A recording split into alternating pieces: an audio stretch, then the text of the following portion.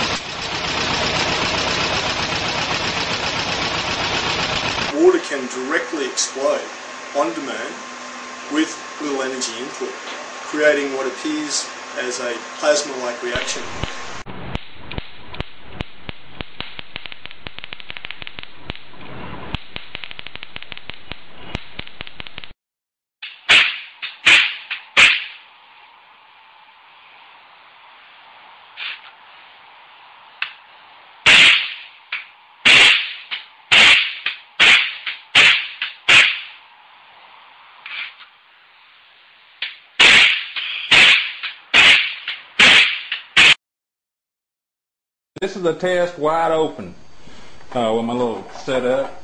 Let's see what she'll do. That's about 50 volts. About 120.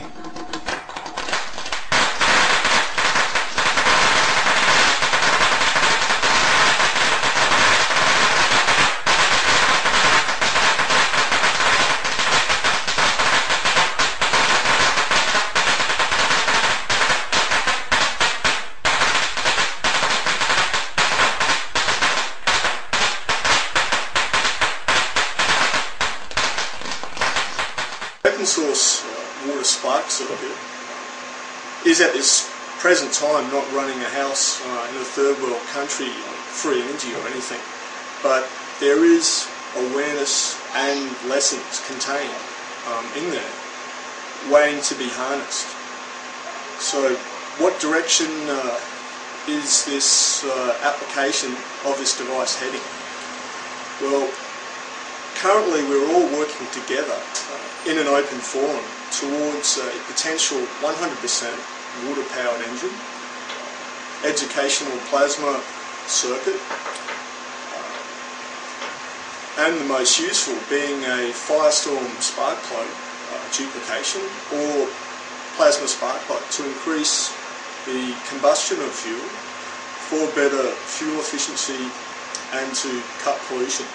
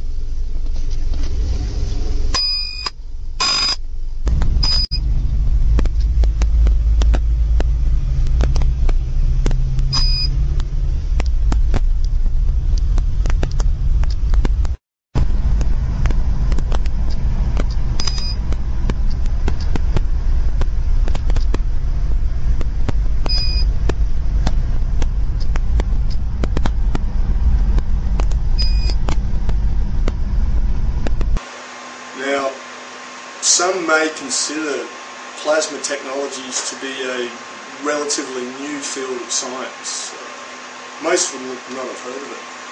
However, it is not a new field. It is a neglected and a suppressed science. People have already achieved a 100% water-powered engine using a plasma emission source. These include Herman Anderson,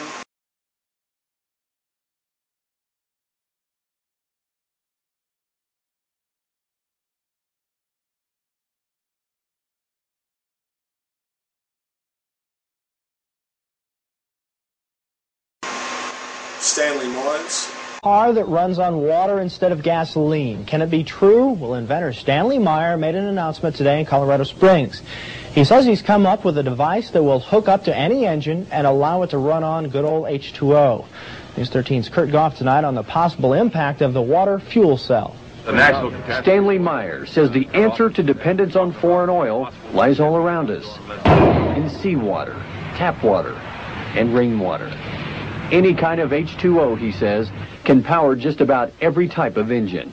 How? With the water fuel cell. It fits in the palm of his hand, but it could revolutionize the world. You're talking about a pollution-free, totally new source of energy, the voltage disassociation of water. The fuel cell converts water into a gas, hydrogen oxygen, which is released in the form of thermo-explosive energy. So the water fuel injector simply replaces the spark plug. We hook it to a hydrogen computer system which regulates and meters the flow going into the injector. It processes the water in such a way to release its thermal explosive energy. The man who invented an engine that can run on water says he's been offered a billion dollars in cash by oil producing countries to sell his patent. So far, he hasn't sold. Environmental specialist Jan Porter talked to the inventor, who thinks that the U.S. auto industry could produce cars that run on water now if they wanted to. Our industrial base of the world is based on the utilization Stan Meyer has a car that runs on water, and that's drawing crowds at this year's Extraordinary Science Conference in Colorado Springs. Myers has developed what is called the water fuel cell injector.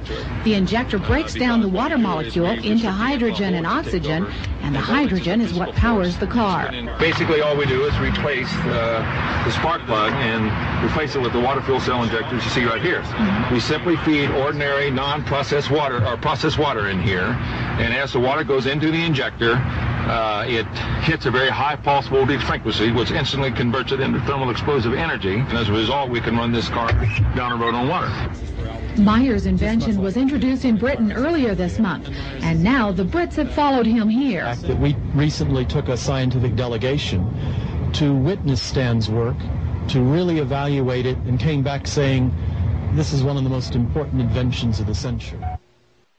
both who suffered suppression. And plasma infusion technology is already well established in the uh, Blacklight Power Company, uh, the GEET process, and Firestorm Sparkplug.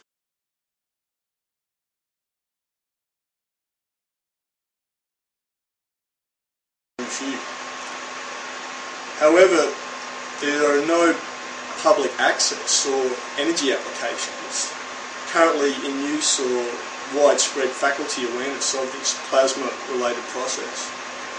Also, all of the current proprietary inventors of these plasma applications um, have encountered political and economic conditions, not to mention neglect from the mainstream faculties uh, due to their disbelief and just the lack of uh, unwillingness to investigate or understand the process.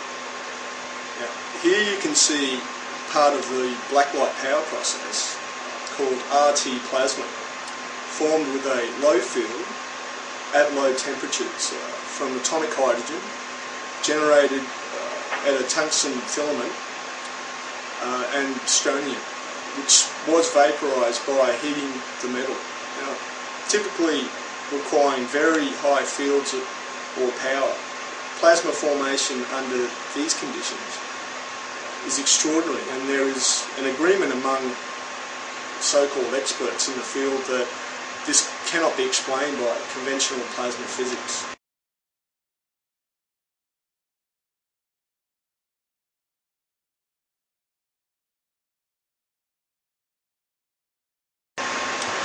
Now, others uh, unknown work is Dr. Kirill Chukanov, Joseph Papp, uh, plasma physics, uh, cold fusion, the GEET, blacklight power process, and others. They all could have had this technology in circulation years ago. However, due to the mainstream curricula's unwillingness to upgrade their knowledge and or investigate it, it has prevented all from any real time momentum. When you add the political and economic conditions to this, not to mention cartel greed experiences, uh, as has been reported in the Paul Pantone case, then you really only have one way to make sure uh, these technologies see the light of day, and that is through the collective collaboration of the underfunded and largely unknown open source engineers' uh, efforts. This is uh, why now we are seeing practical circuits reaching the public access now through the plasma uh, spark plug circuit.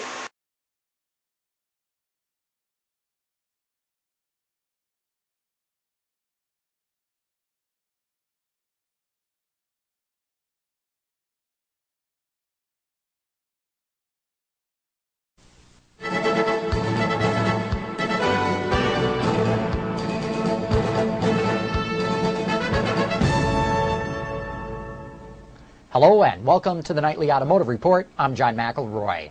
Cars and engines have changed a lot over the last hundred years, but not spark plugs. Yet, a local inventor has come up with a new design for spark plugs that allow an engine to run at a 24 to 1 air-fuel ratio. Today, engines run at a 14.7 to 1 ratio.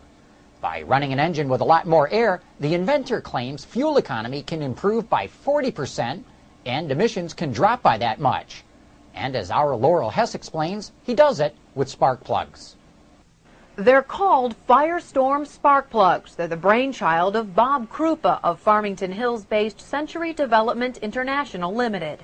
The technology is the difference in the configuration of the bottom or the, the power end of the plug.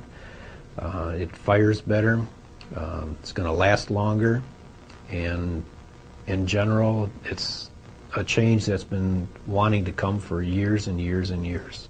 Krupa says another big advantage of the Firestorm spark plugs is that they are environmentally friendly. They almost eliminate emissions, and they drastically increase miles per gallon. This is a slow motion view of exactly what the Firestorm plug looks like compared to a conventional plug. The plug that you're looking on the right side is the standard spark plug. It has platinum on the center and platinum on the ground. The one on the left side is the new design Firestorm plug.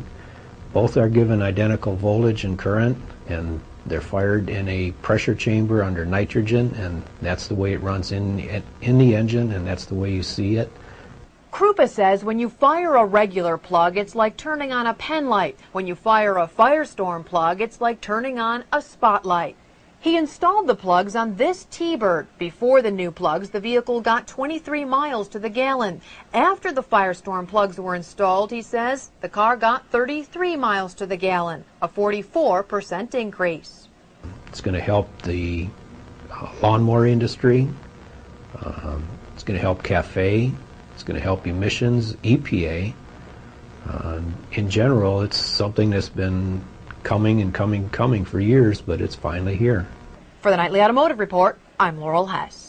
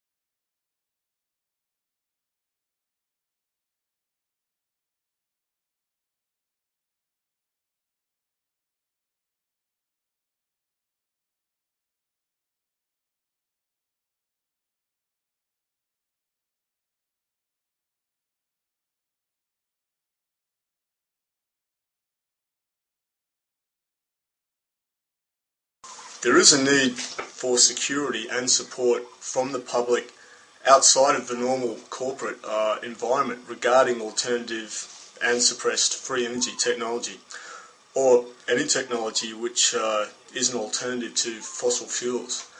Now, of the many past and present case files which illustrate this, uh, in particular is the related research of the Firestorm spark plug. Now, this is one of many perfect examples. Uh, tests conducted with the Firestorm plugs showed that as a result of the plug's design and the plasma process that it uses, uh, ignition system, uh, they would never wear out. Um, Robert Krupa's first Firestorm plug was made back in 1996, uh, and it's it's since uh, encountered a lot of opposition to their introduction and manufacture. Uh, there's still no manufacturers of today, uh, 2009. Now, Robert reports that he achieved a 44% uh, gain in his miles per gallon and could reduce the emissions by uh, the same percentage by using these plugs. Now, these results are nothing to take lightly, uh, especially considering that just by using the spark plug alone, we could take up to 44% of the pollution off uh, all the cars uh, in the world and basically uh, relieve an economic burden. If the fact that this plug has been around since 1996 and has still not uh, still not in use today isn't uh, enough of a reality check for alarm. Another individual, Ian from the UK, contacted us. Now he showed us a platinum ball tip spark plug, uh, which he made as far back as 1991. Uh, worked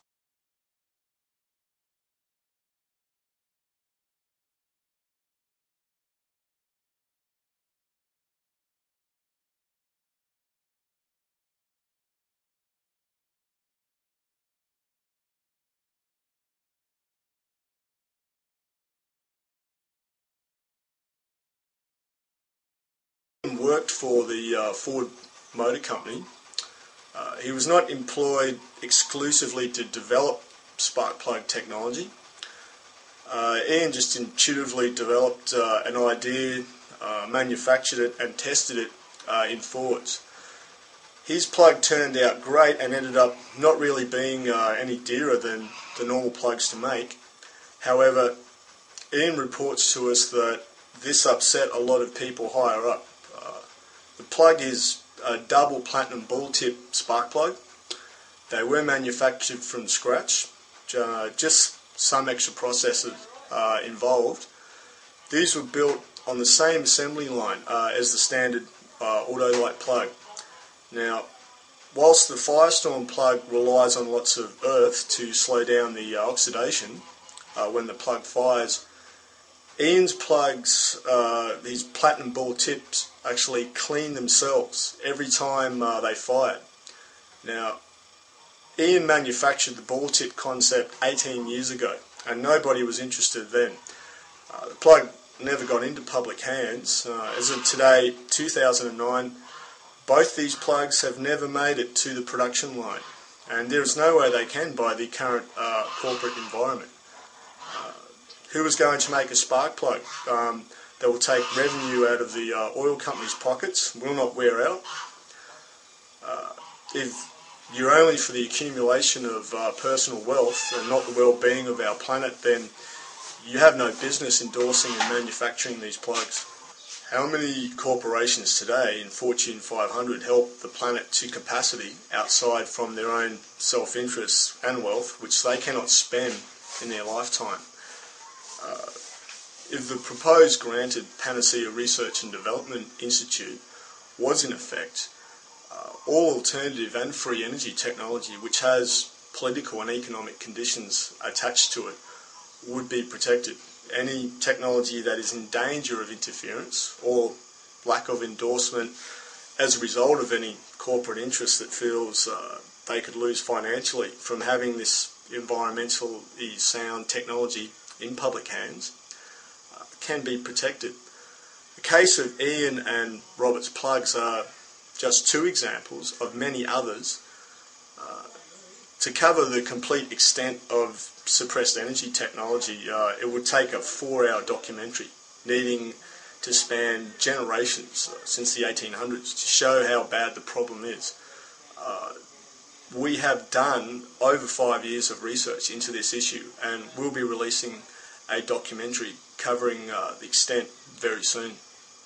In the case of Ian's and Rob's uh, plugs and other suppressed technology, the non-profit organisation with given resources uh, can and would contract someone to produce these spark plugs uh, or technology as an environmental public service or environmental initiative.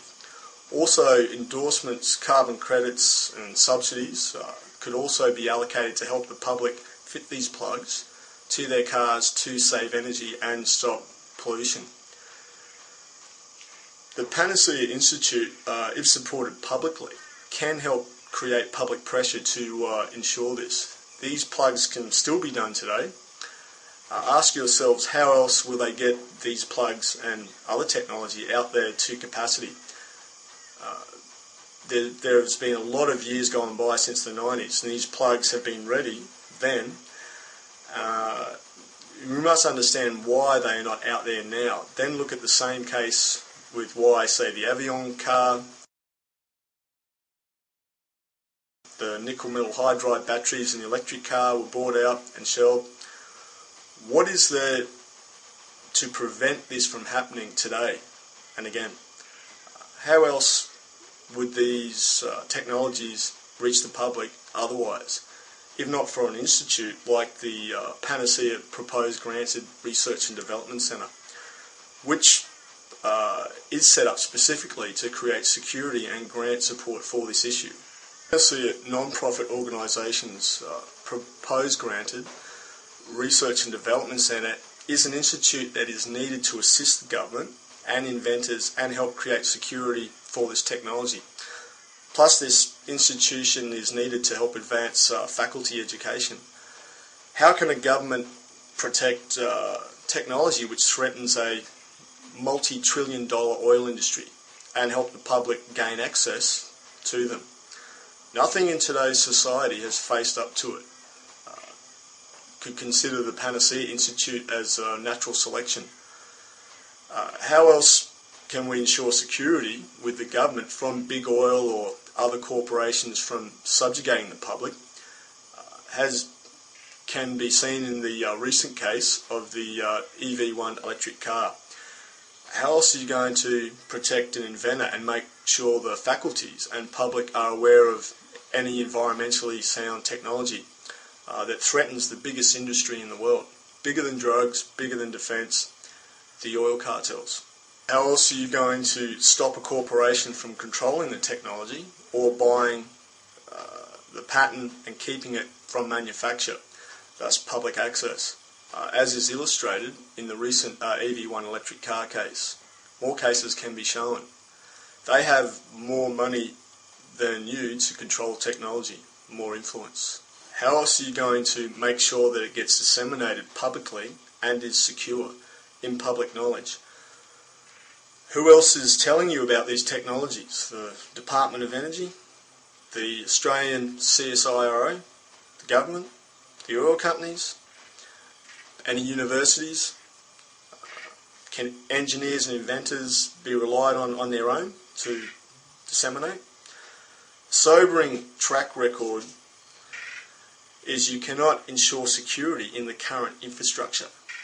That's why, as of today, 2009, we have enough cases to show the merit and need for the particular institution and how we must begin critically disseminating this technology and performing uh, further research and development to make sure the next generation uh, has a planet uh, which we can sustain today by this commitment. The Panacea institution is the only defence in the public eye uh, it is the only security. Typically, all Earth-friendly uh, or free energy technology uh, in the or technology in the free, this free energy genre would be validated and registered with us through our proposed granted research and development centre. This will not only have the security of being in the public eye, but also the security of the open source engineers keeping the technology known, as is already the case with these Firestorm replication plugs. Uh, there are environmental organisations which the government allocates uh, resources to uh, from the taxpayer. For example, the CSIRO in Australia, uh, the Department of Energy in uh, the United States. Uh, these are all taxpayer funded and science ones who annually contribute uh, grants to help the public.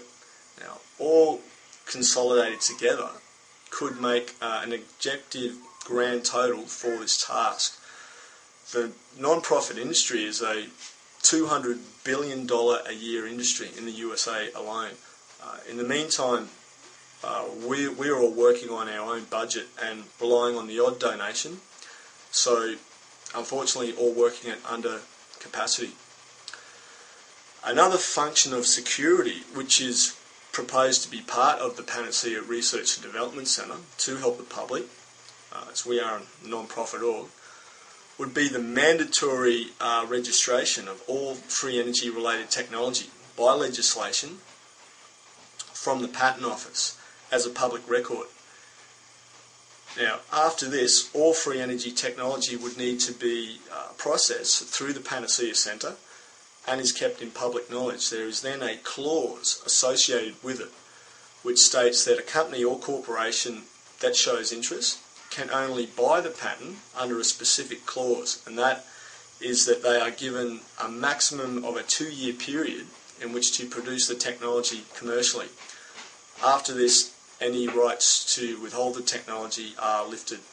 If access to this technology was regulated and protected, so that a company can only buy the patent under an agreed and consensual clause, which stipulates that they are given a fixed two year period in which to produce the technology and create public access to it. If not, then the patent rights to the technology would be lifted. If this was the case, would uh, energy suppression be po- possible? Would the case of these plugs, the electric car, the nickel metal hydride batteries, have occurred? Or even technology such as Nathan Stubblefield and Tesla's uh, fall into obscurity 100 years ago? Grants are needed for security. If, techno- if technology from Tesla made it through by the by this secure infrastructure, how clean would your environment be today uh, for your kids? I mean, would you have saved more money and protected the next generation's environment? How much of an economic burden would be lifted?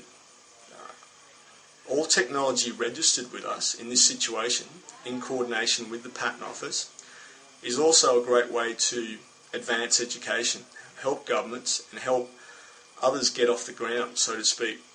The Institute is also about supporting open source engineers.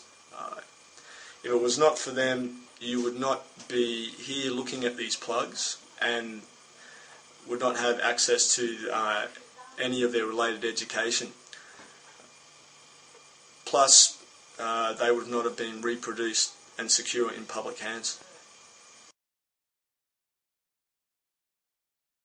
Now, the open source engineers uh, have been responsible for the Plasma GEET technology and Plasma Water Spark plug uh, remaining active and improving the R&D. And only through their efforts has it advanced into practical, uh, usable systems, public access. as we are currently uh, seeing with this uh, plasma spark plug circuit,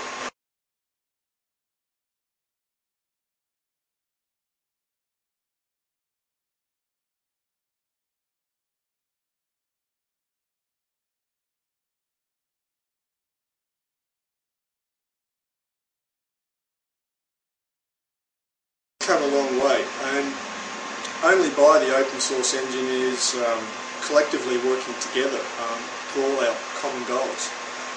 The open source engineers are changing uh, the world like no other can. Um, open source is the security we need. There are too many inconsistencies with the state of the West's conditions, uh, greedy retailers, political, economic conditions, or energy suppression, and faculties um, not paying attention. So where does that leave the public? Well, for all this neglected and abused science to advance to capacity, a safe, centralised research and development centre hub in the public eye uh, is a necessity uh, to help create security in the public eye and advance education, plus provide a conduit and interface for the even the proprietary inventors of this plasma and other particular sensitive and misrepresented and misunderstood technology into public awareness. A non-profit research and development centre uh, exclusively for open source and these inventors' particular technology uh, is a place where faculties, governments and the public can safely ensure consumer awareness and demand. And this is what we need um, regarding these technologies at this time. So they will remain unknown. The non-profit organisation's uh, proposed grant Panacea Research and Development Centre is intended to serve as this platform uh, for the scientific community and as a public service uh, to perform this function and endorse open source engineers research. We need to continue uh, our present direction in designing, improving and applying this uh, water plasma spark plug to release the energy uh, necessary to drive a piston down an internal combustion uh, engine, as well as the multitude of other applications to which this technology can be applied. Peter Granow arbeitete für das US-Militär an der Entwicklung elektroenergetischer Waffensysteme. Eines Tages kam er auf die Idee, Gewehre mit Wasser statt Patronen zu laden. Zusammen mit Richard Hull entwickelte er das Projekt weiter. Man nehme einfach einen Blitz. Wasser und Elektrizität. Die gewaltigen Kräfte eines Gewitters im Lauf eines sogenannten Wassergewehrs. Ein Fingerhut voll Wasser und ein Funke elektrischer Hochspannung genügen und Wassermoleküle werden auf 5000 Stundenkilometer beschleunigt. Und es durchschlägt 6 mm starke Aluminiumplatten. Einfach durch. Aber die ersten Wasserexplosionen waren heftiger, als die beiden vermutet hatten. Bei der Explosion kam mehr Energie raus, als wir reingesteckt hatten. Da ist Energie frei geworden, von der wir nichts wussten. Wie sie entsteht und woher sie kommt. Uns war sofort klar, sie muss aus dem Wasser selbst gekommen sein.